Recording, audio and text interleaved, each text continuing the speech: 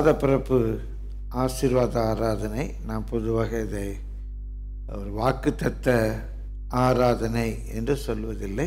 ஒரு மாதம் பிறக்கிறது தேவ சமூகத்தில் கூடி வந்து கத்தருடைய வசனங்களை தியானித்து இந்த மாதத்தை நாம் தொடங்குகிறோம்.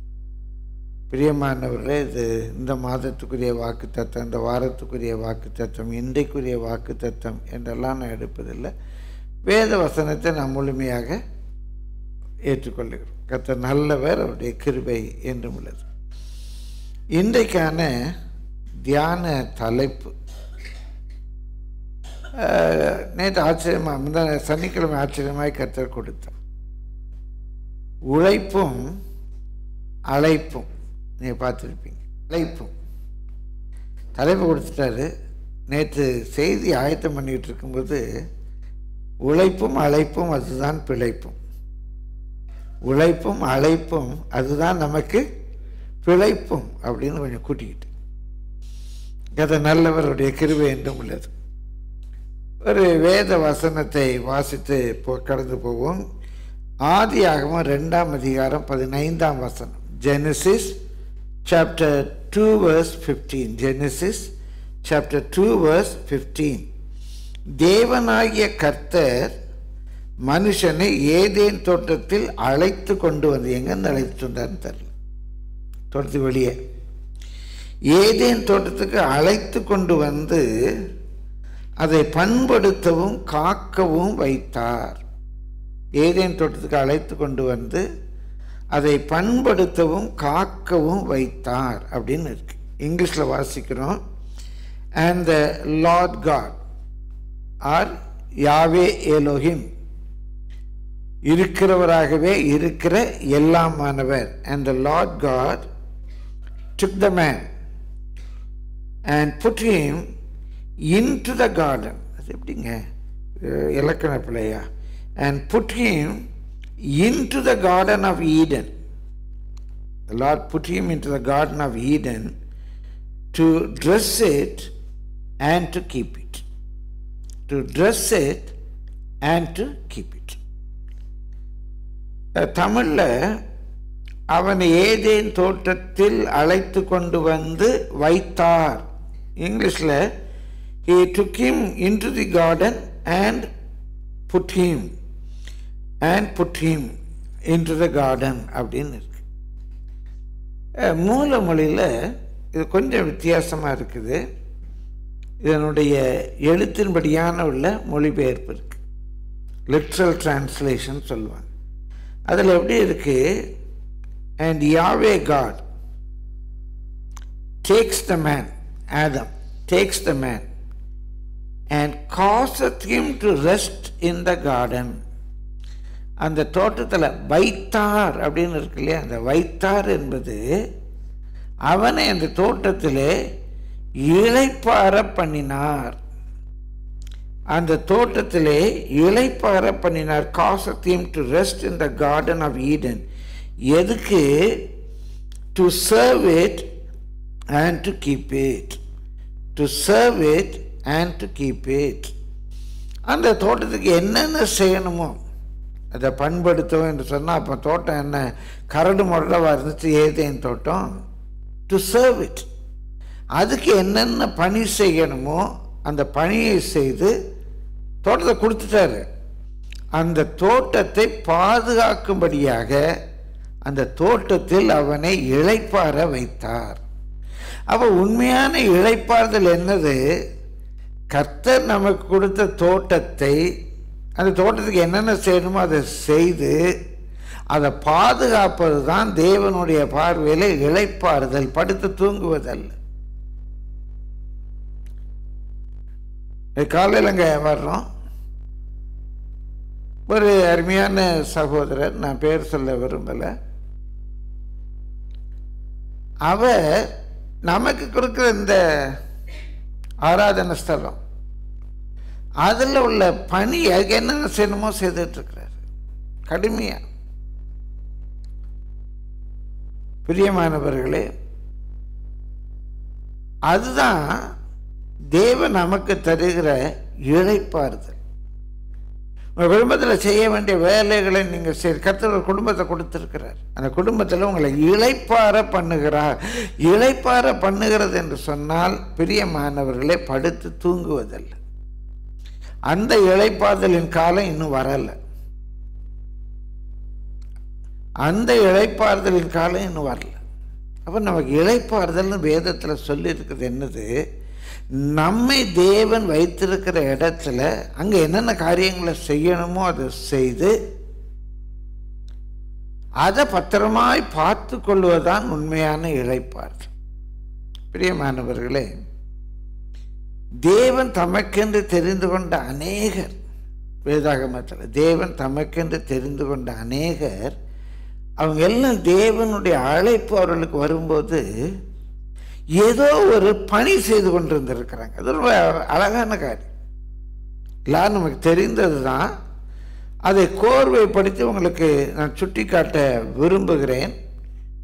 முதலாவதாக மோசையை குறித்து எல்லாம் நமக்கு தெரிந்தது தான் மோசையை குறித்து பார்க்குறோம். மூன்றாம் அதிகாரம் யாத்திராகவும் மூன்றாம் அதிகாரம் Exodus chapter three from verse one ஒன்றாம் வசனத்திலிருந்து பார்க்கும் யாத்திராகவும் மூன்று ஒன்று.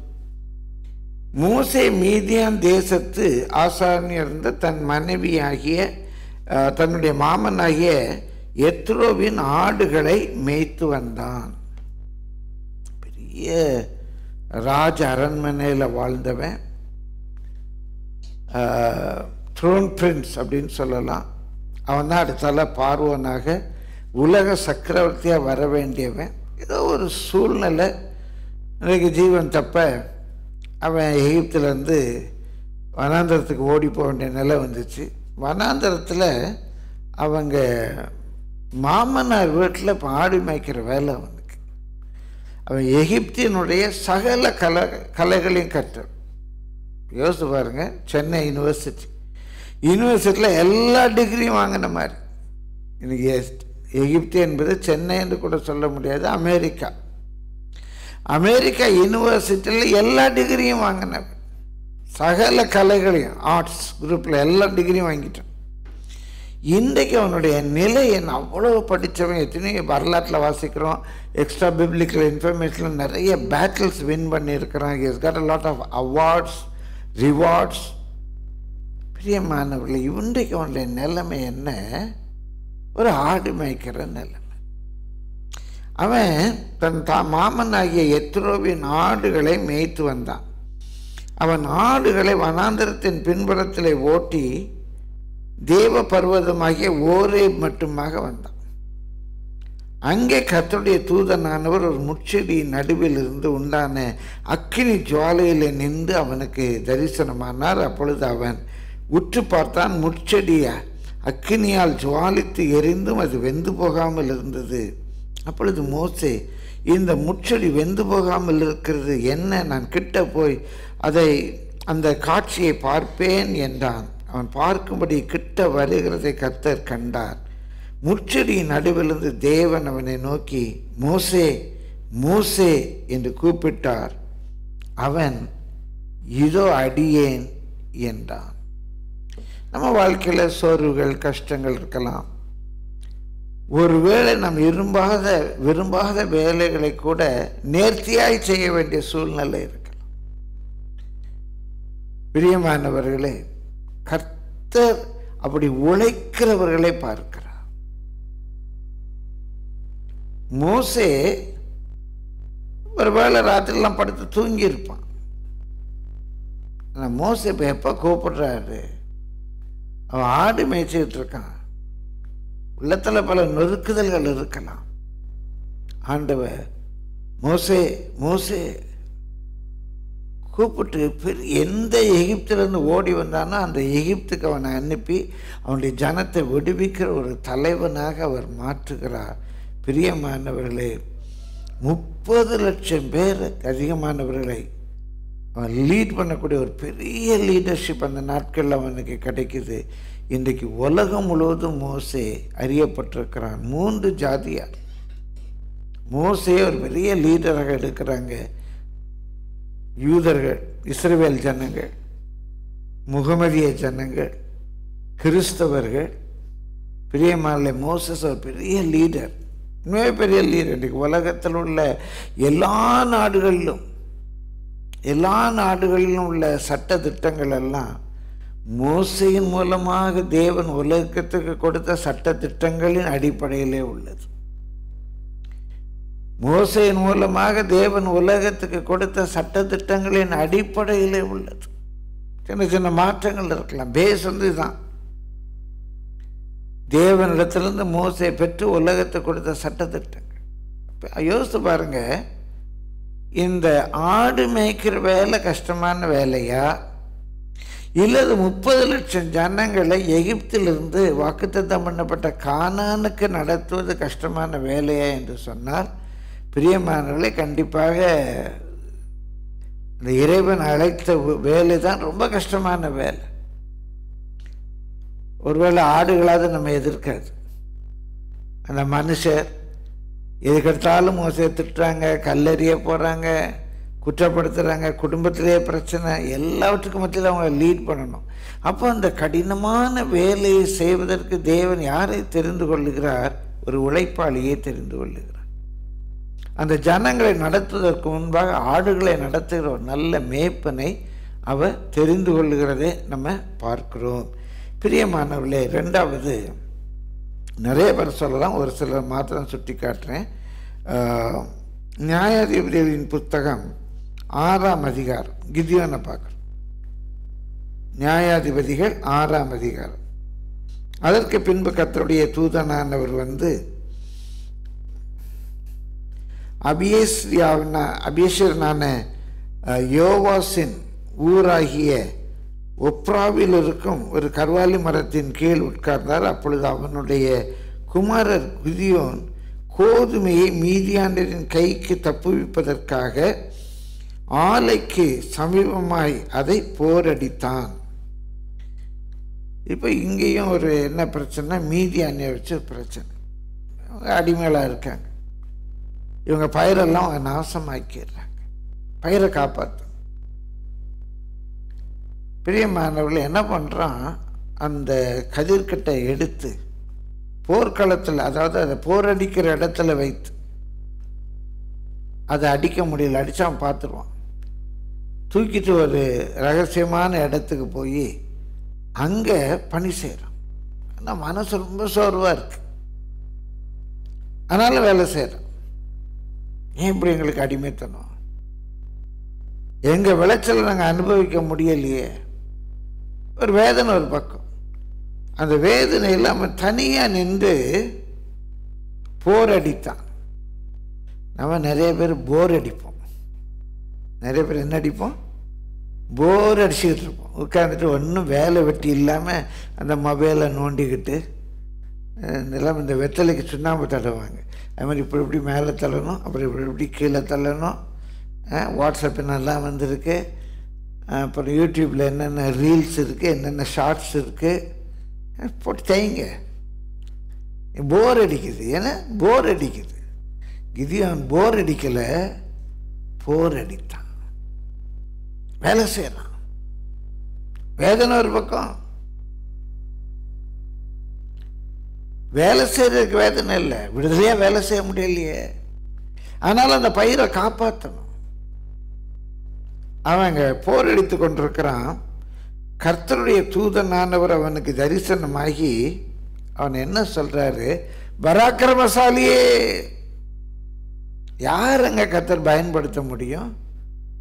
பராக்கிரமசாலி. எல்லா எதிர்மாறான சூழ்நிலையிலையும் வேலை செய்கிறவன் உழைக்கிறவன்.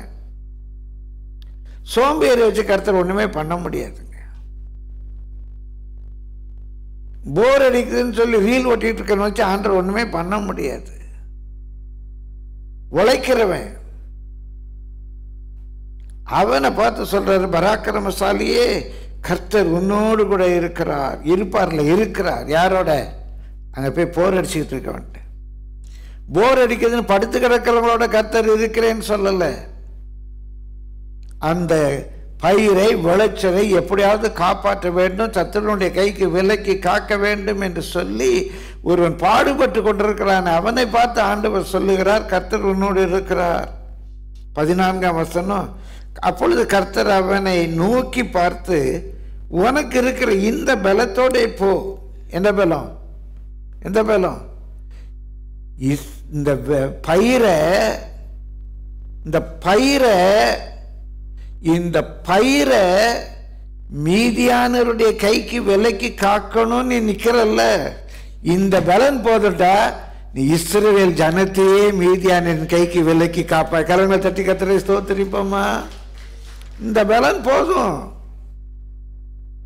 இன்றைக்கு உலக பிரகாரமான நல்லா உழைக்கணும் நல்லா வேலை செய்யணும் அப்படிங்கிற பலன் இருந்துச்சுன்னா கர்த்தர் உங்களை கொண்டு பெரிய காரியங்களை செய்திருவார். இந்த பலத்தோடு இப்போ என்னது? நீ இஸ்ரவேலை மீதியானின் கைக்கு நீங்களாக்கி ரட்சிப்பா. இப்போ என்ன பலன் இருக்கு? இந்த பயிரை மீதியானரின் கைக்கு நீங்களாக்கி விலைக்கு ரட்சிக்க நீ பாடுபடுற கர்த்தவன் கூட இருக்கிறாரு. இந்த பலத்தோட நீ போ. நீ இஸ்ரவேலை மீதியானின் கைக்கு நீங்களாக்கி ரட்சிப்பாய். உன்னை அனுப்புகிறவர் நான் அல்லவா என்றார். அப்படி செ- செயல்படுறவங்களை கர்த்தர் பார்க்கிறார். உன்னை அனுப்புகிறவர் நான் அல்லவா என்றார். பதினாறாம் வசனம் கூட வாசிப்போம். அதற்கு கர்த்தர் நான் உன்னோடு கூட இருப்பேன். இப்போ இருக்கிறேன். இனி நீ செய்ய போகிற திருப்பணியில் நான் உன்னோடு கூட இருப்பேன்.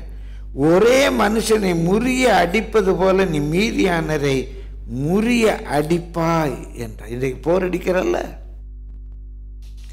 நாளைக்கு உம்முடைய ஜனத்தை நீ காப்பாற்றுவதற்கு இஸ்ரவேலை நீ முறிய அடிப்பாய். மோசே இஸ்ரவேலை அடிமைத்தனத்தில் விடுவிக்க கத்தர் அனுப்புகிறார்.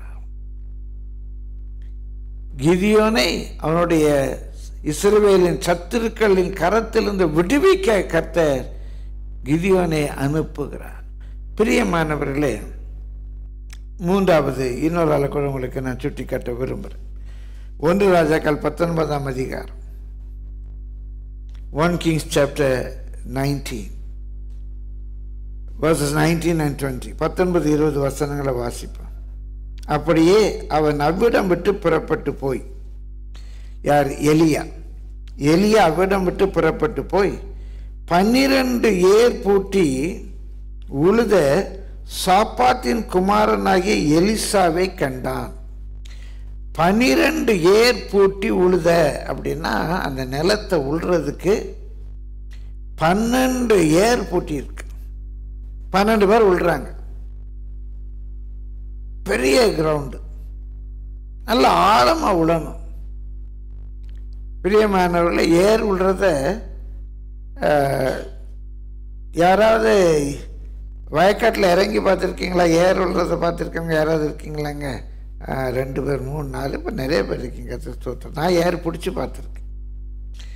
அதில் வயலில் இறங்கினோம்னா அந்த வயலில் நிறைய ஏர் விழும்னால தண்ணி ஊற்றிருப்பாங்க இறங்கின முட்டு வரைக்கும் சலக்கு சலக்கு சலக்குன்னு கால் உள்ளே போ ஒரு கால் உள்ளே போச்சுன்னா அடுத்த கால் எடுக்கிறது பெரிய கஷ்டமாக இருக்கும் அதில் முதல் ஏறு உள்றவன் ரொம்ப கஷ்டமாக அப்படியே ஆழமாக பிடிச்சிட்டு போகணும்.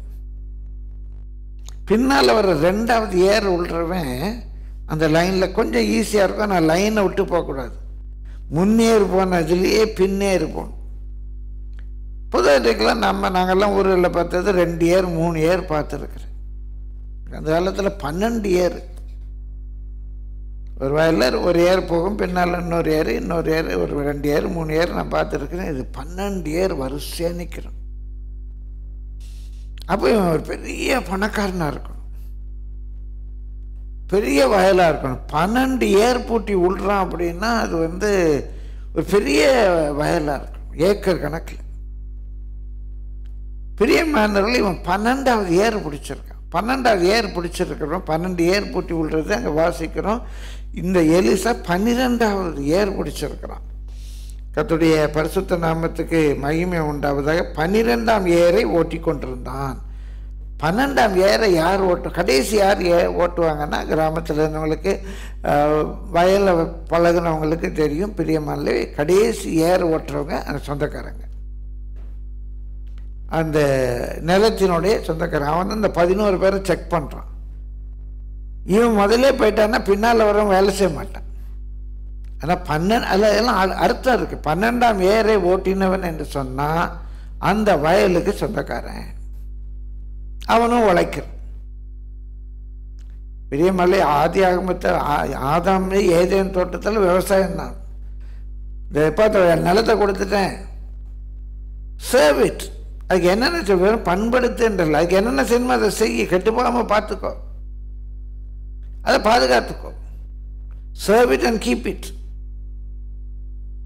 dress it அதை அப்படி நல்லா அழகுப்படுத்தி வச்சுக்கோ. ட்ரெஸ் இட் அப்படிதான் ஆண்டவர் சொன்னார். பிரியமானவர்களே கெதியோன் அது விவசாயம்தான். இங்கே பார்க்குறோம் எலிசா அவனும் விவசாயம் தான். ஒரு உழைப்பாளி. அதுலேயும் விவசாயி. பிரியமானவர்களே அவன் பன்னெண்டாம் ஏரை ஓட்டி கொண்டிருந்தான். எளிய அவன் இருக்கும் இடம் மட்டும் போய் அவன் மேல் தன் சால்வையை போட்டான். ஒரு அழைப்புக்கு அடையாளம். அவன் வேலை செய்து கொண்டிருக்கிறான். உழுது கொண்டிருக்கிறான். பிரியமானவர்களை எலியா சால்வையை போட்டான். அப்பொழுது அவன் மாடுகளை விட்டு எலிசா மாடுகளை விட்டு எலியாவின் பின்னே பிறகை ஓடி நான் என் தகப்பனையும் என் தாயையும் முத்தம் செய்யும்படி எனக்கு உத்தரவு கொடுக்கும் அதற்கு பின் உண்மை பின்தொடர்வேன் என்றான். அதற்கு அவன் எலியா எலிசா பார்த்து சொல்கிறான் போய் திரும்பி வா நான் உனக்கு செய்ததை நினைத்துக்கொள் என்றான். அப்போ அவனையும் நம்ம பார்க்குறோம். நல்லா உழைக்கிற ஒரு மனுஷன். வயக்காட்டில் இறங்கி வேலை செய்கிற ஒரு சொந்தக்காரன். பெரிய பணக்காரன் ஆனால் இறங்கி வேலை செய்கிறவன் பெரிய பணக்காரன் ஆனால் இறங்கி வேலை செய்கிறவனாக நம்ம அவனை பார்க்குறோம். சரி. பிரியமான நான்காவது ஒரு ஆள் என்ன உழைப்பாளர் தினம் நீங்கள் உழைத்ததெல்லாம் போதும். படுத்து தூங்குங்க. கர்த்தர் உங்களை ஆசீர்வதிப்பார். அப்படி சொல்லுவாங்கன்னு நினச்சிங்களோ? அது வேணாம் இப்போ தூங்க வேணாம். அது இன்னும் கல் ரொம்ப நாள் கழிச்சு வரட்டும்.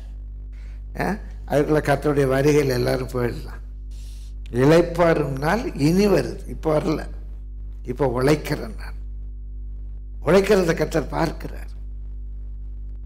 பிரியமானவர்களே நான்காவது ஆமோஸ் ஒன்றாம் அதிகாரம் ஒன்றாம் வசம் ஆமோஸ் ஒன்றாம் அதிகாரம் ஒன்றாம் வசம் பிரியமானவர்களே நிறைய தீர்க்கதர்சன புத்தகங்கள். குறிப்பாக ஏசாயா எரேமியா அப்படின்னு அந்த தீர்க்கதரிசிகள் பேரிலேயே வரும். ஒரு வேத வல்லுநர் சொல்கிறாரு ஒரு தீர்க்கதரிசியின் பேரில் ஒரு புத்தகம் வந்தது முதல் புத்தகம் ஆமோஸ் தான் அப்படிங்கிற இப்போ எவ்வளோ எழுதியிருக்காரு?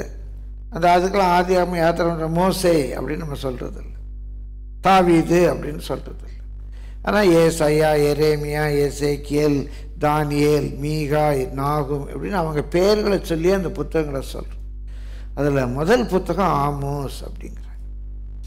இந்த ஆமோஸ் ஒன்றாம் அதிகாரம் ஒன்றாம் வசனத்தில் வாசிக்கிறோம் தெக்கோவா ஊர் மேய்ப்பருக்குள் இருந்த ஆமோஸ். அவன் அவனும் ஒரு மேய்ப்பன். மேய்ப்பருக்குள் இருந்த ஆமோஸ். ஏழாம் அதிகாரத்தில் ஆமோஸே சொல்கிறாரு பதினான்கு பதினைந்து வசனங்கள். ஆமோஸ் அமத்சியாவுக்கு பிரதி உத்தரமாக நான் தீர்க்கதரிசியும் அல்ல தீர்க்கதரிசியின் புத்திரனும் அல்ல. இந்த தீர்க்கதரிசனம் சொல்கிறது என் வேலை இல்லை பிரியமானவர்களே சில நாட்களுக்கு முன்பாக கூட ஒருத்தர் நான் சொன்னேன். நான் பாஸ்டர் வேலைக்காக போய் படிக்கவும் இல்லை. ஒரு பாஸ்டருடைய பையனும் இல்லை. ஆண்டவர் அழைச்சார் வந்திருக்கிறேன் நான் வாத்தியார் வேலை பண்ணிகிட்டு ஆண்டவர் அழைச்சார் வந்தேன் அப்படின்னு சொன்னேன் அதே போல் ஆமோஸ் அவன் ஒரு ஸ்கூல் ஆஃப் ப்ராஃபட்ஸ் எப்படி இன்னைக்கு பைபிள் காலேஜ் இருக்கோ அப்படியே தீர்க்க தரிசிகளுக்குன்னு பள்ளி இருந்தது. அந்த ஸ்கூல் ஆஃப் ப்ராஃபட்ஸில் போய் ப்ராஃபஸி சொல்லலாம் படிக்கலை. பிரியமானவர்களே இன்றைக்கு நிறைய பேர் ப்ராஃபஸி சொல்கிறதுக்கே ட்ரெயின் ஆகுறாங்க. எவ்வளோ சொல்லணும்? ஒரு இயேசு உங்களுக்கு ஒரு நல்ல மாதத்தை கொடுக்குறார். உங்களுக்கு முன்பாக ஒரு நல்ல மாதம் இருக்கிறது. இந்த மே மாதம் உங்களுக்கு முன்பாக ஒரு ஆசீர்வாதமான மாதமாக இருக்கிறதை கர்த்தர் காண்பிக்கிறார். இது அப்படியே ட்ரெயின் ஆகுறாங்க. அப்படி ஜனங்களுக்கு எப்படி சொல்லணும்? எப்படி ஆக்ஷன் கொடுக்கணும்? எப்படி வசனத்தை எடுத்து? அவங்க ஒரு ஒரு ஊழியக்காரர் என்று சொன்னார் பெரிய ஊழியக்கார் எவ்வளோ பிரச்சனையோட நொந்து நூலாக வர்றாங்க. சபைக்கு வர்றாங்க. அவங்களுக்கு நம்ம சத்தியம் அது இதுன்னு சொல்கிறதுக்கு பதிலாக அவங்கள உற்சாகப்படுத்துகிற மாதிரி. ஒரு நாலு வார்த்தை சொன்னால் எவ்வளோ திருப்தியாக போவாங்க. ட்ரெயின் பண்ணுறாங்க ப்ராஃபஸி சொல்லி. அப்புறம் அது நடக்கா நடக்கலையா? வேறு விதமாக நடக்கா? அதெல்லாம் வேறு வித்தியாசம்.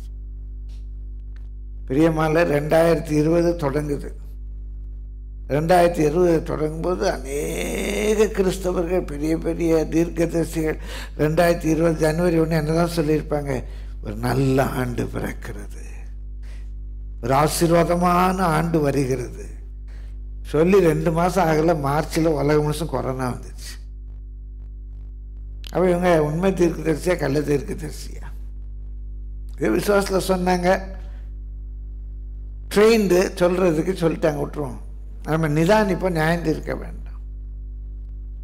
எல்லாரும் அப்படி தானே சொல்லியிருப்பாங்க? ஆசீர்வாதமான ஆண்டு வருகிறது அப்படின்னு. கொரோனா ஆண்டு தானே வந்துச்சு? ரெண்டு மாதத்தில் வந்துச்சு கொரோனா. பிரியமானவர்களே கத்துடைய பரிசுத்த நாம நான் தீர்க்க ஊழியத்துக்கு விரோதமாக இல்லை தீர்க்க வரத்துக்கு விரோதமாக இல்லை அந்த வரம் எனக்கும் இருக்கு. நீங்கள் சாட்சி. ஆனால் இங்கே ஆமோஸ் சொல்கிறான் எப்போ நான் ஒரு தீர்க்க தரிசியம் இல்லை. ஒரு ட்ரெயின்டு தீர்க்கதரிசியும் இல்லை ஒரு தீர்க்கதரிசியினுடைய புதல்வனும் அல்ல. நான் மந்தை மேய்க்கிறவனும் காட்டத்தி பழங்களை பொறுக்கிறவனுமாய் இருந்தேன். ஆனால் மந்தையின் பின்னாலே போகிற போது என்னை கர்த்தர் அழைத்து எப்போ அழைப்புச்சு பார்த்தீங்களா? உழைக்கும் போது அழைப்பு. நான் மாடு மாடு பேய்ச்சிட்டு போகும்போது இது இன்னும் என்று கூட சொல்லலாம். நான் மாடு மேய்ச்சிக்கிட்டு இருக்கும்போது அங்கே இருக்கிற காட்டத்தி பழத்தை எடுத்து சாப்பிட்டுக்கிட்டு நான் மாடு மேய்ச்சிக்கிட்டு இருக்கும்போது ஆண்டவருடைய அழைப்பு வந்தது. ஒரு பெரிய தீர்க்கதரிசியாக. இஸ்ரவேலினுடைய அழிவை குறித்து முதல் முதலாக ப்ரிடிக்ட் பண்ணவர். பிரியமான அவரும் உழைப்பாளியாக இருந்தார். ஆண்டவர் அவரை அழைக்கிறார். அப்படியே புதிய ஏற்பாட்டுக்கு வருவோம். மத்தேயு நான்காம் அதிகாரம் பதினெட்டாம் வசனம் Matthew chapter four verse eighteen Matthew chapter four verse eighteen இயேசு கலிலேயா கடலோரமாய் நடந்து போகையில் மீன் பிடிக்கிறவர்களாக இருந்த இரண்டு சகோதரராகிய பேதுரு எனப்பட்ட சீமோனும் அவன் சகோதரன் அந்திரையாயும் கடலிலே வலை போட்டு கொண்டிருக்கிற போது எல்லாம் முடிச்சுட்டு அப்படியே ஒரு ஜாலியாக தண்ணி அடிச்சுட்டு படுத்திருக்கும் போது அல்ல வலை போட்டு கொண்டு இருக்கும்போது அவர்களை கண்டு என் பின்னே வாருங்கள் உங்களை மனுஷரை பிடிக்கொள்ள ஆக்குவேன் என்றார். உடனே அவர்கள் வலைகளை விட்டு அவருக்கு பின் சென்றார்கள். அதே சம்பவம் லூக் ஐந்தாம் அதிகாரத்தில் இன்னும் கொஞ்சம் தெளிவாக இருக்கும். லூக் ஐந்தாம் அதிகாரம் ஒன்று முதல் பதினோரு வசனங்கள் வாசிக்க நேரம் இல்லை. அவர்கள் படகுகளை கரையிலே கொண்டு வந்து நிறுத்தி எல்லாவற்றையும் விட்டு அவருக்கு பின் சென்றார். அன்றைக்கி அவங்க ரொம்ப ட்ரை பண்ணுறாங்க மீனே கிடைக்கல. ரொம்ப சோர்ந்து போயிட்டாங்க. காலையில் வந்து நைட்டெல்லாம் மீன் பிடிச்சி கிடைக்கல. காலையில் வந்து வலை அலசிக்கிட்டு இருக்கிறாங்க. டயர்டாக இருப்பாங்க. மனசோர்வு வேறு. நீ எப்படி பிஸ்னஸ் பண்ணுறது ஆர்டரே வரல. மீனே கிடைக்கல பொருள் கிடைக்கல. என்ன பண்ணுறது வேதனை வரும்ல. இப்போ மட்டன் ஷாப் வச்சுருக்காங்க ஆடு வாங்க போகிறாங்க ஆடு கிடைக்கல. என்னங்க இப்படி ஷாப் எப்படி நடத்துறது? கஷ்டமாக இருக்கும்ல. நைட்டெல்லாம் ட்ரை பண்ணியும் ஆடே கிடைக்கல. பேதர் கதையோ மீனே கிடைக்கல. பிரியமானவர்களே கரையில் வந்து இருக்கும்போது ஏசு வர்றாரு. இப்போ சொல்கிறாரு கொஞ்சம் ஆழத்தில் தள்ளி கொண்டு போய் வலையை போடுங்கிறாரு. சும்மா அவன் வேலை வெட்டி இல்லை. நைட்டெல்லாம் ட்ரை பண்ண ஒரு மீனும் கிடைக்கல. காலையில் கரை ஓரத்தில் தான் மீன் கிடைக்கும். எங்களுக்கு மீன் பிடிக்கிற எங்களுக்கு தெரியாது. நீ கார்பன்றியா பெரிய மேய்ப்பன் ஒரு ஒரு சகோதரர் சொன்னார் ஒரு நாள். இதோ நான் ஓய்வு நாளை பரிசுத்தமாக ஆசிரிக்கணும்னு சொன்னேன் மேய்ப்பனுக்கு என்ன தெரியும்னார். இன்னைய வரைக்கும் அவர் எலும்பவே இல்லை. மேய்ப்பனுக்கு என்ன தெரியும்? எங்கள் பிஸ்னஸை பற்றி மேய்ப்பனுக்கு தெரியுமா? அந்த கார்பெண்டருக்கு இந்த தச்சனுக்கு மீன் பிடிக்கிறத பற்றி தெரியுமா? சொல்கிறான் ஆழத்தில் கொண்டு வலைய போடு. என்ன அறிவு இருக்குது அவனுக்கு? நைட்டெல்லாம் ட்ரை பண்ணி ஒன்றும் கிடைக்கலன்னு இருக்கிறேன் இப்போ போய் ஆழத்தில் வலைய போடுங்கிறேன் அப்படின்னு சொல்லாமல் ஆண்டவரே நான் நைட்லாம் ட்ரை பண்ண ஒன்றும் கிடைக்கல ஆனாலும் உங்களுடைய வார்த்தையின்படி போகிறேன் அப்படின்னு சொல்லிட்டு திரும்ப போகிறான் பாருங்க. எப்படிங்க முடியும்? எவ்வளோ டயர்டாக இருக்கும். இப்போ தான் வந்திருக்கேன் கரைக்கு. பிரியமானவர்களே திரும்ப போகிறான் வாழை கிளியத்தக்கதான் மீன் கிடைக்குது. வந்து சொல்கிறான் ஆண்டவரே என்னை விட்டுட்டு போயிடும்பா பயங்கரமாக இருக்கு. இப்படி ஒரு ஆள் வேண்டாண்டவரேங்கிறான். அப்போ தான் என் பின்னால் வாங்குறாரு. அவன் எல்லாத்தையும் விட்டுட்டு அவர் பின்னால் போகிறான் அப்போ கூட நான் அதை பார்க்கும்போது யோசித்தேன் இவ்வளோ மீன் கொண்டு வந்தானே. அந்த மீனை என்ன பண்ணால் நம்ம ஆண்டவர் ஒரு ரெண்டு நாள் வெயிட் பண்ணி அந்த மீனெல்லாம் விற்று முடிச்சுட்டு வாரேன்னு இருப்போம் அந்த மீனை கூட விட்டுட்டாங்க கரையில். ஆண்டவர் கூப்பிட்டாருன்னொன்னே சரின்னு மீனையும் விட்டுட்டு போக ஆரம்பிச்சிட்டான் கத்துடைய பரிசுத்த நாமத்துக்கு மகிமை உண்டாவதாக அப்படி உழைக்கிற ஒருவனை ஆண்டவர் பார்க்குறார். ஆடு மேய்க்கிறவன் மாடு மேய்க்கிறவன் போரடிக்கிறவன் வயக்காட்டில் உள்றவன் ஊழியத்துக்கு வந்தவங்களாம் யார்? பைபிள் காலேஜில் படித்தவங்களா இன்றைக்கி நிறைய பேர் இது ஒரு ஆதாய தொழில். அப்படின்னு எங்கேயோ ஒரு ஐநூறு அறநூறுரூவா கொடுத்து ஆயிரம் ரெண்டாயிரம் கொடுத்து ஒரு பாஸ்டரு ரெவரண்டு பொன்வண்டு அப்படின்னு ஏதோ ஒரு பட்டத்தை வாங்கிக்கிட்டு அது இப்போ ரெவரண்டு பொன்வண்டுலாம் போயிடுச்சு. பிஷப்பு கார்டினலு போப் ஒன்று தான் விட்டு வச்சுருக்காங்க. ஒரு ஊழியத்தை போட்டு ஒரு பத்து பேர் எப்படியோ எப்படியோ டைட்டு வருது ஒரு வீட்டில் கொட்டு அடிச்சுட்டு பாட்டை பாடி. யாரையோ வர்றவங்களை கூட்டு பிரசங்கம் பண்ண விட்டுட்டு. ஒரு நாலு வீடு சந்தித்தோம்னா வீடு இல்லையா அப்படியும் ஒரு வா ஒரு ஒரு நாளைக்கு ஒரு அஞ்சு வீடு சந்தித்தோம்னா ஒரு ஐநூறுரூவா எப்போ குறைஞ்சது ஒரு ஐநூறுரூவா கிடைக்கும். சில வீட்டில் ஐநூறுரூவா ஆயிரரூவாலாம் கொடுப்பாங்க. எப்படியும் ஒரு நாளைக்கு சராசரி ஐநூறுரூவா வந்துடும் அப்படி ஞாயிற்றுக்கிழமை ஒரு பத்து இருபது பேர் வந்தாங்கன்னா அது ஒரு இன்கம். அதில் ஒரு அஞ்சாறு பேர் தசமபாகம் கொடுப்பாங்க. ஜாலியாக இருக்குது இன்றைக்கி பிரியமானவர்களே அவங்க அவங்க பரலோகத்துக்கு போவாங்களா? அவங்க ஆயத்தப்படுத்துகிற ஆத்மா பரலோகத்துக்கு போகாம? நமக்கு தெரியல. இன்றைக்கு ரொம்ப ஒரு நல்ல எளி எளிமையான வேலைன்னு எடுத்துக்கிட்டாங்க. ஆனால் இங்கே தேவன் அழைத்தவங்கெல்லாம் இந்த ரெவரண்டுகள்லாம் இல்லை. இவங்க யார்? விவசாயிங்க. மீன் பிடிக்கிறவங்க. யோவானை குறித்து கூட பார்ப்போம். பேதர் அந்திரையை பார்த்தோம். யோவான் யாக்கோபு ஆறாவது மார்க்கு பதினோராம் அதிகார ஒன்றாம் அதிகாரத்தில் வாசிக்கிறோம். மார்க்கு ஒன்றாம் அதிகாரம் பத்தொன்பது இருபது. Mark chapter one verse nineteen twenty அவர் அவ்விடம் விட்டு சற்று அப்புறம் போனபோது செபதேயின் குமாரன் யாக்கோபும் அவன் சகோதரன் யோவானும் படகிலே வலைகளை பழுது பார்த்து கொண்டிருக்கிறதை கண்டு உடனே அவர்களையும் அழைத்தார். அப்பொழுது அவர்கள் தங்கள் தகப்பனாகிய செபதேவுக்கு கூலி ஆட்களோடு படவிலை விட்டு அவருக்கு பின் சென்றார்கள். எப்படி எலிசா ஒரு பெரிய பணக்காரனோ அதே போல் யோவான் யாக்கோபு அவங்க பெரிய பணக்கார குடும்பம். பிரியமானுள்ள கத்துடைய பரிசுத்த நாமத்துக்கு மகிமை உண்டாவதாக அந்த பிரதான ஆசாரியர் பிரதான ஆசாரியர் அப்படின்னு சொன்னால் இன்றைக்கு இருக்க பிரைம் மினிஸ்டர் மாதிரி வச்சுக்கோங்களேன். அவங்ககிட்ட யோவானுக்கு பர்சனல் இன்ஃப்ளூயன்ஸ் இருக்குது அவ்வளோ பெரிய குடும்பம். சொந்த படகெல்லாம் வச்சுருக்கிறாங்க. கூலி ஆட்கள் இருக்கிறாங்க. எப்படி எலிசா அங்கே பதினோரு பேர் ஏறு போட்டு போகிறாங்க பன்னெண்டாவது ஏறு பிடிச்சி அவங்க ஊட்டிட்டு போகிறானோ அதே போல் இந்த யோவான் யாக்கோப் நல்ல ஆன்மீகத்தில் ஈடுபாடு உள்ளவங்க யோவான் ஸ்நானகனோடு கூட அவங்க அட்டாச்சாக இருக்காங்க. யாக்கோபெல்லாம் யோவான் ஸ்நானகனோடு அட்டாச்சாக இருக்காங்க மினிஸ்ட்ரியில் அதே அட்டாச்மெண்ட் இருந்தாலும் வேலை செய்கிறாங்க மீன் பிடிச்சிட்டு கரைக்கு வந்த உடனே டயர்டாக இருக்குன்னு ரெஸ்ட் எடுக்க போகாமல் வலையை பழுது பார்ப்பார்கள். கடலில் மீன் பிடிக்க வலையை போட்டிருக்கும் போது வலைகள் அங்கங்கே பிஞ்சி கிஞ்சி போயிடும். சரி நாளைக்கு பார்த்துக்கலாம். மீன் பிடிக்க போகும்போது பார்த்துக்கலாம். இல்லை. கரைக்கு வந்தோடனே அந்த வலையை பழுது பார்க்க ஆரம்பிப்பார். அப்படி வலையை பழுது பார்த்து கொண்டிருக்கிற அவர்களை இயேசு கூப்பிடுறாரு. அப்பாவையும் படகையும் கூலி ஆட்கள் எல்லாத்தையும் விட்டுட்டு அவங்க ஊழியத்துக்குன்னு போயிடுறாங்க. இப்போ அழைத்தவங்கெல்லாம் பாருங்கள் எல்லாம் நல்ல உழைப்பாளிகள்.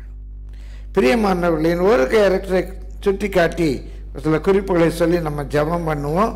மற்ற மா ஒன்பதாம் அதிகாரம் ஒன்பதாம் வசனம். இந்த ஒரு ஆளுனுடைய அழைப்பை பற்றி மாத்திரம் மூன்று சுவிசேஷத்துலேயும் வாசிக்கிறோம். ஆச்சரியமான ஒரு அழைப்பு. மற்ற ஒன்பது ஒன்பது இயேசு அவ்விடம் விட்டு புறப்பட்டு போகையில் ஆயத்துறையில் உட்கார்ந்திருந்த உட்கார்ந்திருந்த இவங்க வந்து வயக்காட்டில் வேலை செய்யலை. கடலில் மீன் பிடிக்கலை. போர் அடிச்சுக்கிட்டு இருக்கல. இவர் வேலை உட்கார்ந்து இருக்கிற வேலை. இன்கம் டேக்ஸ் ஆஃபீஸில் ஆயத்துறை அப்படின்னா இன்கம் டேக்ஸ் இப்போ கூட நீங்கள் இன்கம் டேக்ஸ் ஆஃபீஸ் நுங்கம்பாக்கம் போனீங்கன்னா தமிழில் போட்டிருக்கோம் ஆயத்துறை அப்படின்னு. டிபார்ட்மெண்ட் ஆஃப் இன்கம் டேக்ஸ் ஆயம். ஆயத்துறையில் உட்கார்ந்திருந்த மத்தே இன்னொரு மனுஷனை கண்டு எனக்கு பின்பற்றி வா என்றார். அவன் எழுந்து அவருக்கு பின் சென்றான்.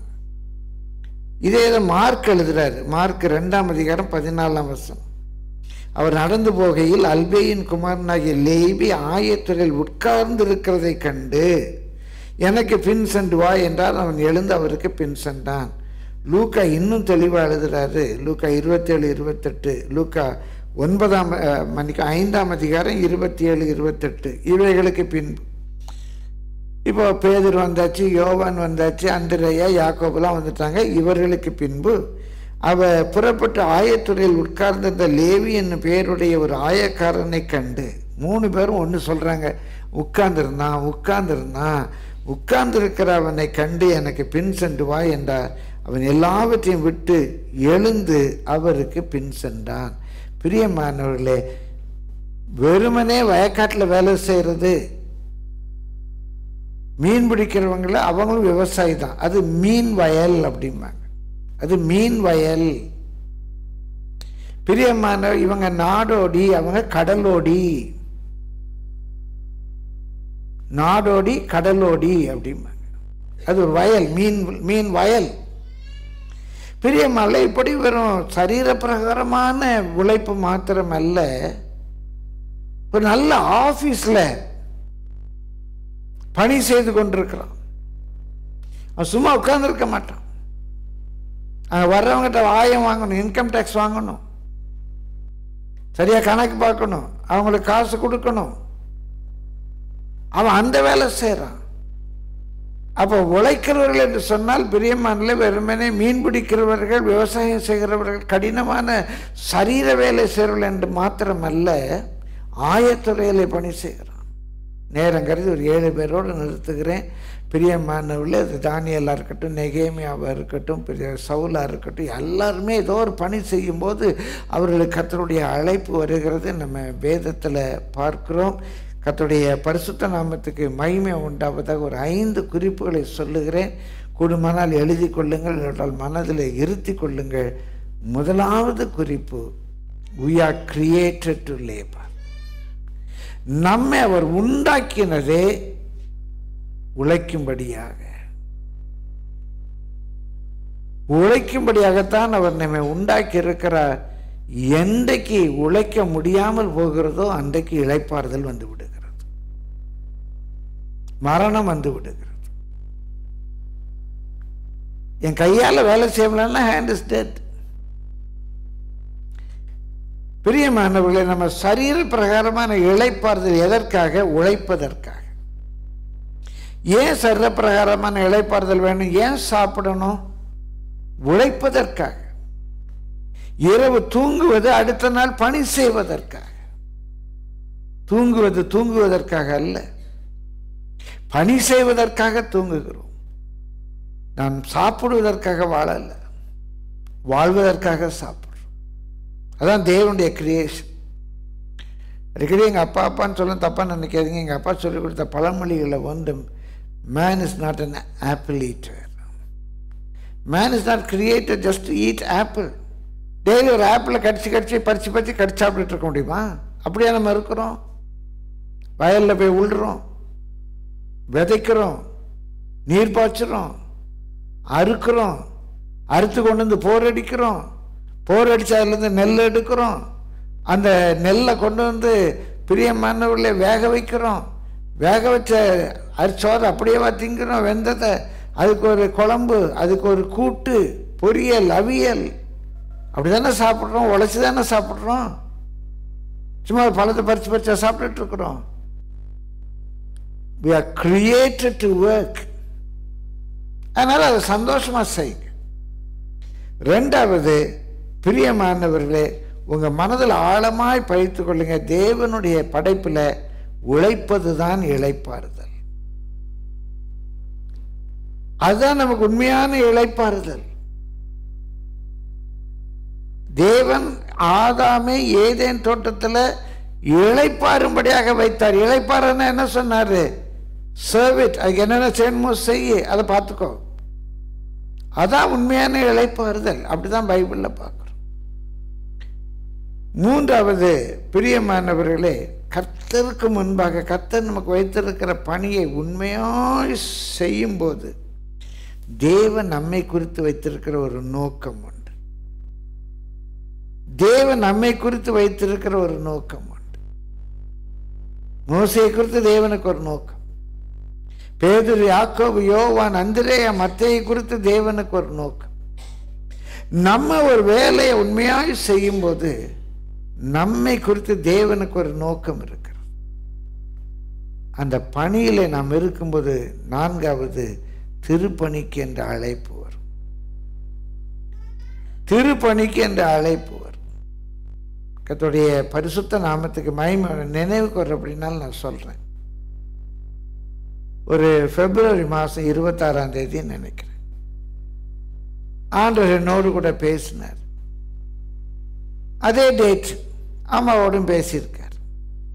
ரெண்டு நாள் ஜெபத்தில் வச்சுட்டு இருபத்தெட்டாம் தேதி நான் சொல்கிறேன் அவங்களும் அதே மாதிரி ஜெபத்தில் இருந்திருக்காங்க என்று சொல்லலை. அவங்களும் இருபத்தெட்டாம் தேதி ரெண்டு பேரும் ஆமாம் எனக்கும் வந்தது எனக்கும் வந்தது சார். ஒன்றாந்தேதி காலையில் பாஸ்டர் சுந்தரையாட்ட போய் சொன்னோம். நாற்பது நாள் உபவாசம் நாங்கள் ஜெபிக்கலை. ஆண்டவர் கூட்ட பிற பேதர் உட்காந்து நான் நாற்பது நாள் ஜெபம் பண்ணி சொல்லுகிறேன் ஆண்டவரே வருகிறேன்னா வரல நிறைய பேர் உடனே ஜெபம் பண்ணுறாங்களோ ஆண்டவர் அழைத்திருக்கிறார் நான் ஜெபம் பண்ணிக்கிட்டு இருக்கேன். அடா போடா. பேதருக்கு அந்த அறிவு இல்லை. யோவானுக்கு அந்த அறிவு இல்லை. மோசே நான் நாற்பது நாள் ஜெபம் பண்ணிட்டு வந்து சொல்கிறேன் ஆண்டவரே அப்படின்னு நான் சொன்னேன் ஜெபம் பண்ணிட்டு என்னப்பா பண்ணிட்டு இருக்கேன் ஜெபம் பண்ணிக்கிட்டு இருக்கேன். ஜெபம் பண்ணிக்கிட்டு இருக்கேன். எனக்கு தெரிஞ்சு அப்படி யாரும் நாற்பது நாள்லாம் ஜெபம் பண்ணலைங்க. கூப்பிட்டாரு போயிட்டாங்க. நான் ஒன்றாந்தேதி பாஸ்டர்கிட்ட சொன்னேன். மூணாந்தேதி எங்கள் அப்பாட்ட சொன்னேன். எங்கள் அப்பா பேர்த்டே அன்னைக்கு மார்ச் மாதம் அஞ்சாந்தேதி ரெசிக்னேஷனை கொடுத்தேன். மூணு மாதம் நோட்டீஸ் பீரியடு ஜூன் மாதம் அஞ்சாந்தேதி ரிலீவ் ஆனாங்க. ஜூன் ஒன்பதாம் தேதி ஆர்டினேஷன் எனக்கு அம்மாவுக்கு. உடனே ஊழியத்துக்கு வந்துட்டேன். உடனே ஊழியத்துக்கு வந்து எப்போ ரொம்ப சந்தோஷமாக நினைப்பேன். உடனே ஊழியத்துக்கு வந்துட்டேன். பிரியமானவர்களே ஒரு முறை காட்டாத்துறை கன்வென்ஷன் போயிருந்தேன். பல முறை போயிருக்கேன். இப்போ ஊழியத்துக்கு வந்த பிறகு ஒரு முறை காட்டாத்துறை கன்வென்ஷன் போயிருக்கேன். அப்போ காலைல பைபிள் ஸ்டடி எங்கள் பார்த்து தாமஸ் எடுக்கிறாங்கன்னு சும்மா அப்படியே ரூமில் இருந்தேன். ரூமில் இருக்க பதிலாக வந்து கன்வென்ஷன் கிரவுண்டில் போய் பின்னால் அப்படி உட்காந்துக்கிட்டு இருந்தேன். தாமஸை ஐயா சாட்சி சொல்கிறாங்க அதை முழுமையாக என்னால் ஏற்றுக்கொள்ள முடியலை. ஆனால் ஆடிப்போங்க ஒரு நாள் ஒரு ஸ்கூலுக்கு போயிருக்க அவரும் வாத்தியார் தான். ஸ்கூலுக்கு போயிருக்கார் அட்டண்டன்ஸ் எடுத்துக்கிட்டு இருக்கார். அட்டெண்டன்ஸ் எடுக்கும்போது அவருக்குள்ள ஒரு சத்தம் வந்தது. இதுக்காக நான் அவனை அழைத்தேன். இதுக்கு அவனை அழைத்தேன். இந்த மாணவர்களுக்கு பாடம் கொடுக்க அவனை அழைத்தேன். அவனுக்கு இன்னும் கூடுதலான வேலை இருக்கு. அப்படின்னு ஒன்று அட்டெண்டன்ஸ் எடுத்துக்கிட்டு இருந்தவர் பேனாவை மூடி வச்சுட்டு வெளியே போயிட்டார் ஸ்கூலை விட்டு வெளியே போயிட்டார்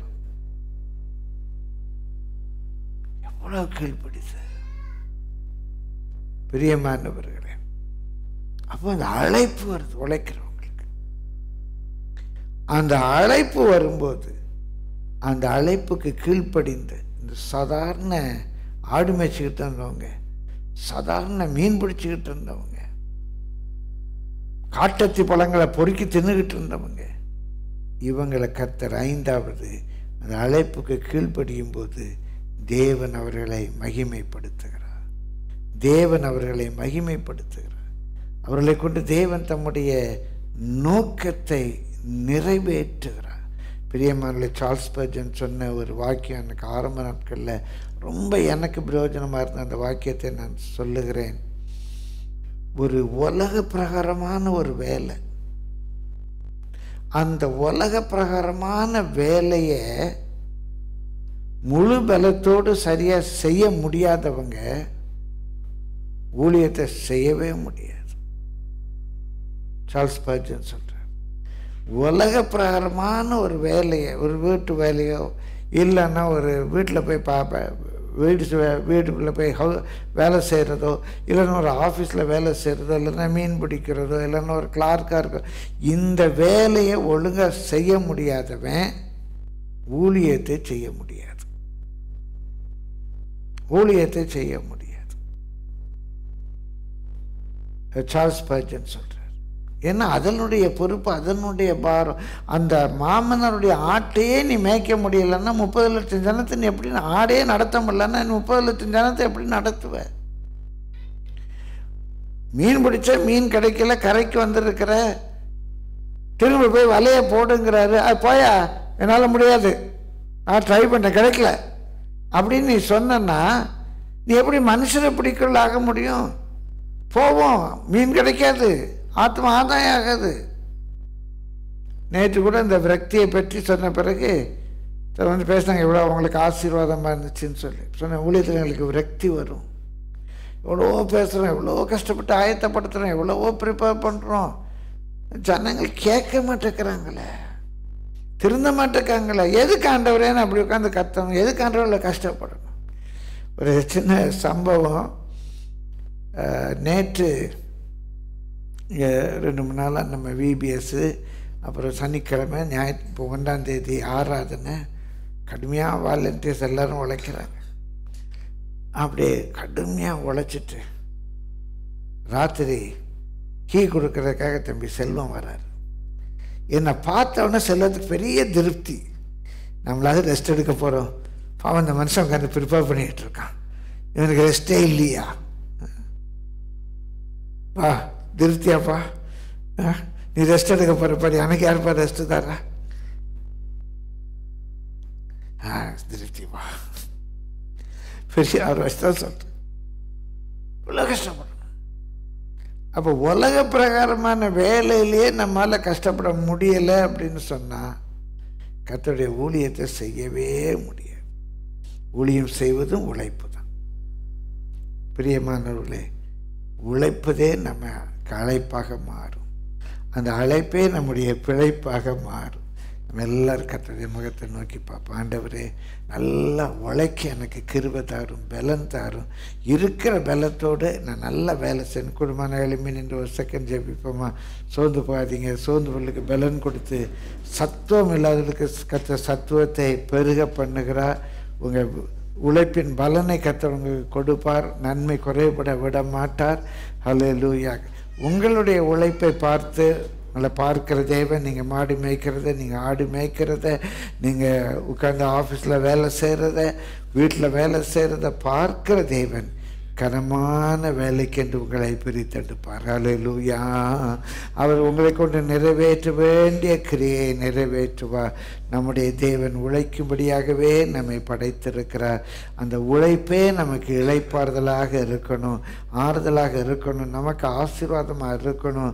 அதிகமாய் பிரயாசப்பட்டு கொஞ்சம் அறுக்கக்கூடாது அதிகமாய் பிரயாசப்பட்டு கொஞ்சம் பலன் எடுக்கக்கூடாது. நம்ம சம்பாதிக்கிறது பொத்தலான பையில போடுறது போல இருக்கக்கூடாது. நம்முடைய உழைப்பு கத்தராலே ஆசீர்வதிக்கப்படணும். விதைக்கிறவனாலும் அல்ல நீர் பாய்ச்சறனாலும் அல்ல விளையச் செய்கிற கர்த்தராலே ஆகும் ஹலலூயா ஹலலூயா உங்களுடைய பிரயாசத்தின் பலனை கர்த்தர் உங்களுக்கு கட்டளையிடுவார். உங்களிலே கர்த்தர் மகிமைப்படுவார். இன்னும் மேலான காரியத்துக்கு என்று கர்த்தர் உங்களை பிரித்து எடுப்பார். நல்ல விடுதலையோடு கூட கர்த்தரை ஸ்தோத்தரிப்போம். நன்றி ஆண்டவரே நன்றி ஆண்டவரே நன்றி ஆண்டவரே நன்றி ரஜா நன்றி நன்றி நன்றி ஆண்டவரே.